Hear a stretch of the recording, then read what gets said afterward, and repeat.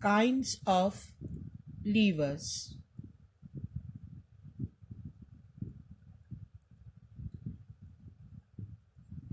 Now levers are of three kinds. Remember the word flee. F L E flee. Now, in the first class lever,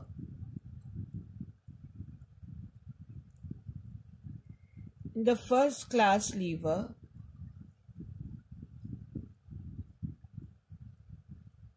fulcrum lies between load and effort. In the first class lever, fulcrum F, F stands for fulcrum. Fulcrum lies between load and effort. L, L stands for load. In the second class lever,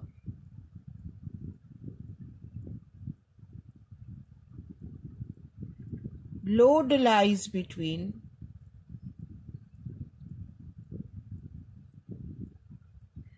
fulcrum and effort. So in the second class lever, in the second class, load lies between the fulcrum and the effort. And in the third class lever,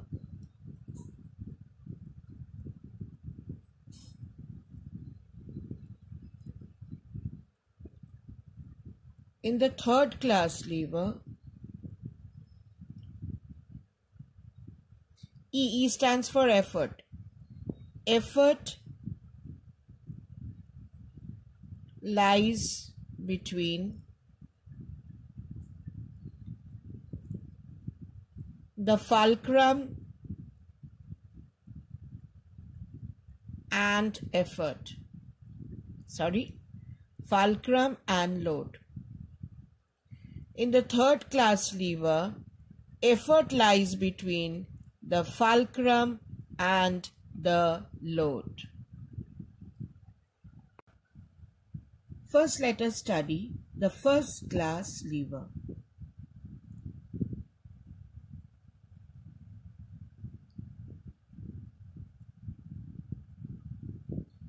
Now in the first class lever,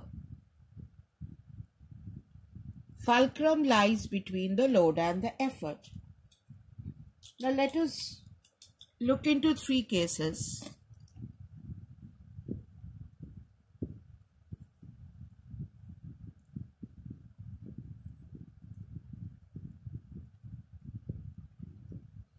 Where the fulcrum lies in between the load and the effort.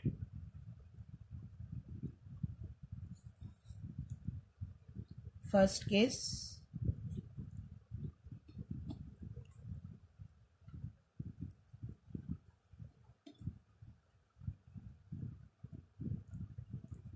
Now,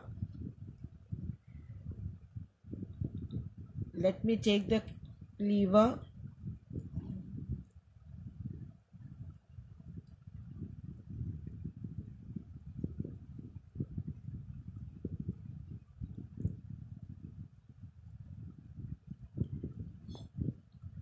Now fulcrum lies between the load and the effort. Say here we have the load. Fulcrum is very close to the load. So this is the direction of the load. And this is the direction of the effort.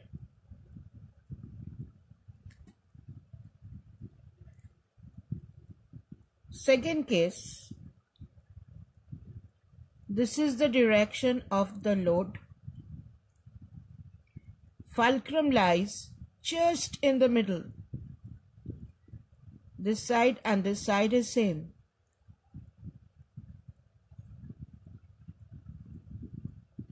This is the direction of the effort.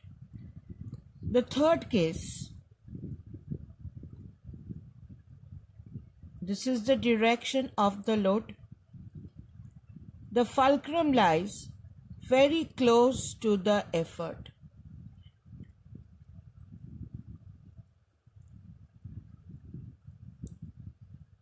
Now all the three are first class lever because fulcrum lies between the load and the effort. In all the three cases, fulcrum lies between the load and the effort.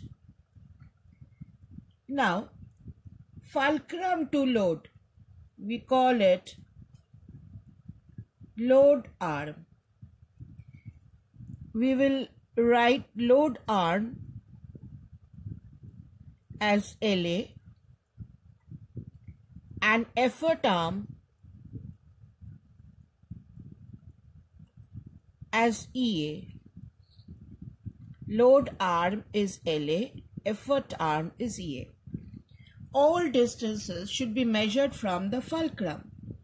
So fulcrum to load is load arm. Here fulcrum to effort is effort arm. Fulcrum to load is load arm. Fulcrum to effort is effort arm. Fulcrum to load is load arm and fulcrum to effort is effort arm. Here for the first case effort arm is greater than load arm. In the second case effort arm is equal to load arm. In the third case, effort arm as you can see is less than load arm. But all belongs to the first class lever. All belongs to the first class lever because fulcrum lies between the load and the effort. In the first case, effort arm is greater than load arm. In the second case, effort arm is equal to load arm and in the third case effort arm is less than load arm. Now we know mechanical advantage is load by effort and that is equal to effort arm divided by load arm. Now here since effort arm is greater, the numerator is greater than the denominator, this fraction will be greater than 1. In this case, mechanical advantage is equal to load by effort equal to effort arm by load arm. Here effort arm and load arm are equal, so we can say it is equal to 1. Third case, mechanical advantage is load by effort equal to effort arm by load arm. Here effort arm is less than load arm, so mechanical advantage is less than 1. Very often you are asked, what are the possible values of mechanical advantage for a first class lever? The answer will be MA can be greater than 1, MA can be equal to 1, MA can be less than 1.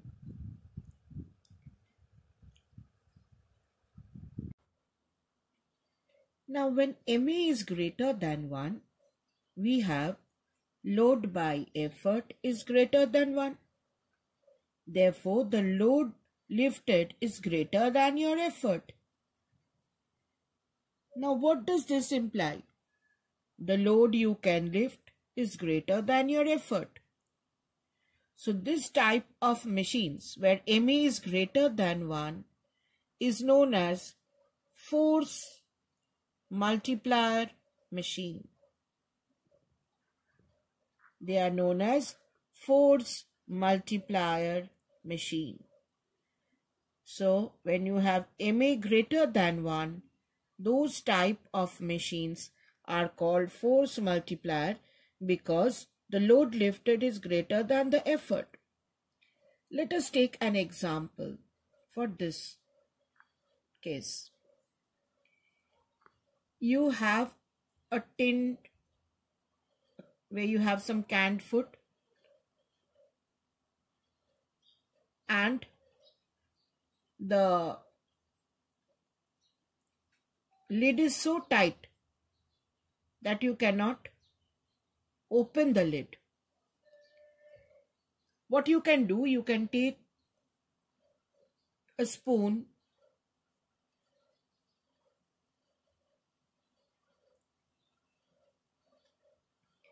you can take a spoon and open the lid. Now, here, this one acts as the fulcrum.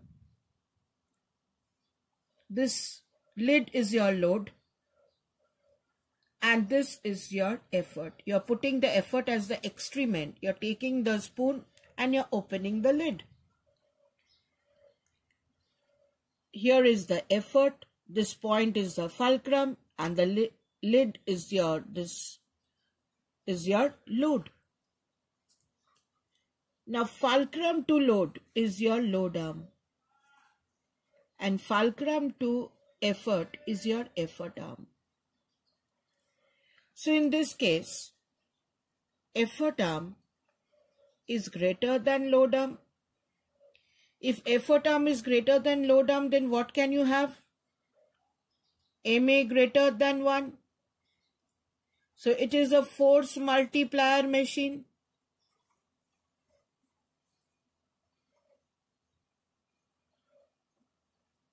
It is a force multiplier machine. So what happened? You couldn't open the lid. Now what happens? This one was very tight. You couldn't open the lid. With the spoon now you can open it. It is a force multiplier machine. So MA greater than 1, MA greater than 1, this type of machines are force multiplier machine.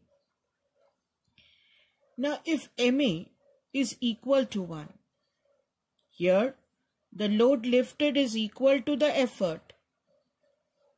Now where do we use it? if you go to a shop, okay, a physical balance, the fulcrum right in between. This is the scale pan and this is your load. You want the correct weight to buy, isn't it? So load and effort. Load and effort. They are same because these two lengths are same. Effort arm this is the fulcrum. Fulcrum to load is your load arm. Fulcrum to effort is your effort arm so here load which you are taking is equal to the effort if you keep 2 kg weight over here you are taking 2 kg so this example is physical balance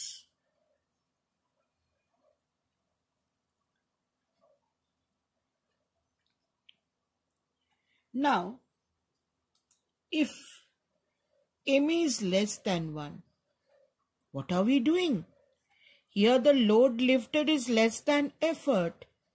That means we are losing our force. But if you imagine children, if you give a little bit of effort here, this full thing goes down like this. Here the load which goes up this is my load this is my distance moved by load.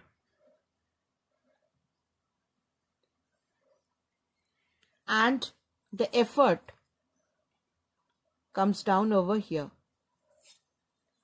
This is my distance moved by effort.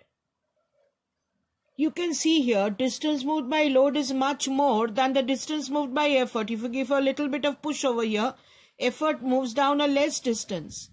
So although we lose force, what happens? Distance moved by load is greater than distance moved by effort. Now if you divide both the sides with t, this is distance moved by load is greater than distance moved by effort. Therefore, dl by t is greater than dE by t. So, velocity of load is greater than velocity of effort. So, what can you conclude here? If, you, if your effort moves down with a speed of 1 meter per second, your load will move up with a greater speed. So, this type of machine, this type of machine where VL is greater than VE. These are known as speed multiplier machine. These are known as speed multiplier machine. Although you are losing force, but you are gaining speed. We are gaining speed at the loss at the cost of our force. We are lifting up less load but the load moves up a greater distance. The load moves up a greater distance than the effort. So cases where you need the load to move up with a greater speed, you don't want to gain force, but you want the load to move up faster, you use this type of machines where MA is less than 1 and the velocity of load is greater than velocity of effort. So that is a speed multiplied machine. Now here there are three first class levers. Scissors, shears and pliers. For all of them, fulcrum is in the middle.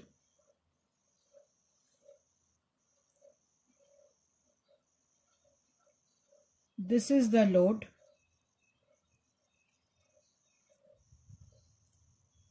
Effort so all of them are, this is the load.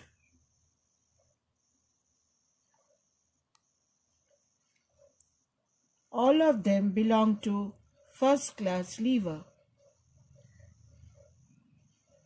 This is a metal which has to be cut. This is a metal which has to be cut with the help of a shears. Load and this is the effort. Now, all the three have fulcrum lying between load and effort. Now, what is the difference between them? Now, in case of pliers and shears, the effort arm, effort arm is the distance from fulcrum to the effort. Effort arm is bigger. Fulcrum to load is your load arm.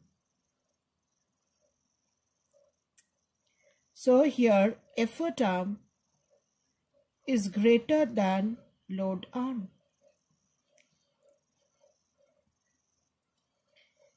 Fulcrum to load is your load arm. Fulcrum to effort is your effort arm. So for these two, for pliers and shears, we see effort arm is greater than load arm. But for scissors, this effort arm is less and load arm is bigger. Actually, uh, the diagram is showing a little more, but it is much more less. For scissors, we have, for scissors, we have effort arm less than load arm. Now what is the outcome of this? If effort arm is greater than load arm, then mechanical advantage comes out to be greater than 1. So in this case, for both the cases, MA, which is effort arm by load arm, is greater than 1.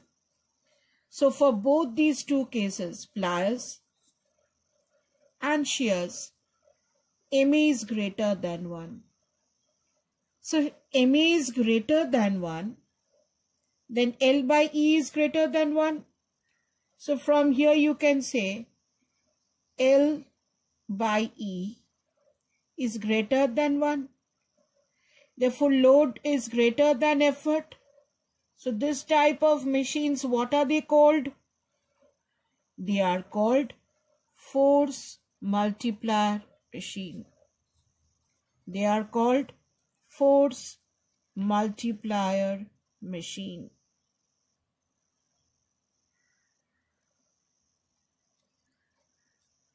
So, pliers and shears, they are force multiplier. Now why? Why are they force multipliers? Because shear is metal cutter. You have to cut a metal. You can't cut a metal with your hand. You need a force multiplier machine. And plier is used to cut wires. You cannot cut a wire with your hand.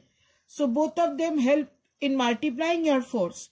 And that is done by having a greater effort arm. Effort arm is the distance from fulcrum to effort greater effort arm, MA greater than 1. So they act as force multipliers. So pliers and shears are force multiplier machine. But in scissors, you don't need to cut metal. You need the work to be done fast. So here I don't need a force multiplier. So here effort arm is taken as less. If effort arm is less than load arm, what can we say? If effort arm is less than load arm, MA is great less than 1. So MA is effort arm by load arm that is less than 1. And if it is less than 1, what happens? Here I told you that the effort moves a less distance and the load moves a greater distance. So what happens? We gain speed. So scissors are actually speed multiplier. Scissors multiply our speed. They are speed multiplier machine.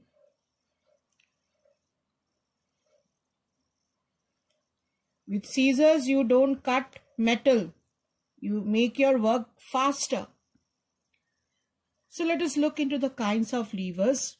Levers are of three kinds. There are three types of lever. Remember the word flea. F stands for first, first class, the fulcrum. F stands for fulcrum. Fulcrum lies in between. Second one, this is the first class. Second class, L lies in between the load. L is the load, F is the fulcrum. Load lies between the fulcrum and the effort. And what is the third class lever? Effort lies in between. Effort lies in between. Remember FLE, first class, second class, third class. Fulcrum in between, load in between, effort in between. Now here we are discussing only the first class lever. Now, first class lever can be of three types. If the fulcrum is close to the load, load arm is less, effort arm is more. If effort arm is more, then it mechanical advantage is greater than 1 because the numerator is more. So L by E is greater than 1. The load lifted is greater than your effort. So this type of machines are called force multiplier machines.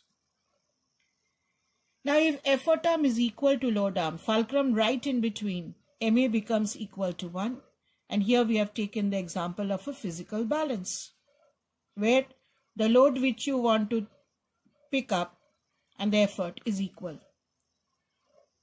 The third, the fulcrum moves towards the effort. Fulcrum moves towards the effort.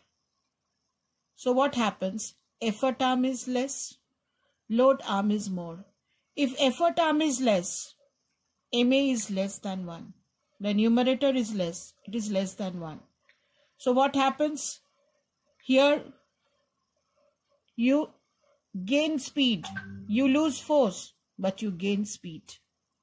So when you gain speed, it becomes a speed multiplier machine. Here there are examples of scissors, shears and pliers. All of them belong to the first class of lever but with different functions. Pliers and shears have effort arm greater than load arm. Remember, always arms are measured from the fulcrum. Both of them have greater effort arm. So if they have a greater effort arm, MA is greater than 1. So both the pliers and the shears are force multiplier because here you have to cut metal and wires where you need strength. On the other hand, scissors, although it belongs to the first class of lever, it has a different function. And how we do we change the function? We may take the effort arm less. If the effort arm is less, MA is less than 1. So this type of machine is a speed multiplier because in scissors, you don't have to cut metals or iron but you have to make your work faster. So scissors is a speed multiplier machine while pliers and shears are force multiplier.